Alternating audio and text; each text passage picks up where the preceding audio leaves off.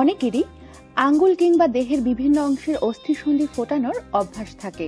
তবে এ অভ্যাস সম্পর্কে অনেকেই বিস্তারিত জানা নেই। বিশেষজ্ঞরা বলছেন, আঙ্গুল কিংবা দেহের যে কোনো অস্থিসন্ধি ফোটানো মোটেও উচিত নয়। আঙ্গুল ফোটানো এই বিষয়ে নিউ ইয়র্ক সিটির স্পেশাল সার্জারি ইন্টিগ্রেটিভ কেয়ার সেন্টারের চিকিৎসক ডক্টর ক্রিস্টেফার অ্যানসেলমি বলেছেন, ফুটানো বা নিজেই নিজের দেহের কোনো অস্থিসন্ধি সেলফ অ্যাডজাস্ট করা যদি অভ্যাস হয়ে যায়, তাহলে তা দেহের জন্য ক্ষতিকর। তিনি আরও বলেন, এই জয়েন্টগুলোতে রয়েছে লিগামেন্ট টেন্ডন ও অন্য সফট টিস্যুর কাঠামো, যা সময়ের সঙ্গে সঙ্গে পরিবর্তিত হয়। যে কোনো অনাকাঙ্ক্ষিত চাপই এগুলো ভেঙে দিতে পারে। অনেকেরই আঙ্গুল ফোটানোর শব্দ পছন্দ, যদিও এটি আঙ্গুল ভেঙে ফেলে না। আমাদের দেহের অস্থি সন্ধিগুলোতে থাকে তরল পদার্থ ও নাইট্রোজেন ও কার্বন ডাই অক্সাইড গ্যাস।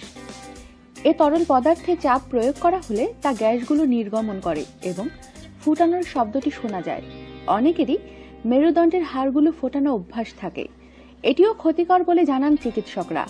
এই কাজটি করলে মেরুদণ্ডের মারাত্মক ক্ষতিও হতে পারে বলে জানান বিশেষজ্ঞরা। আমাদের সাথেই থাকুন আর সাবস্ক্রাইব করুন।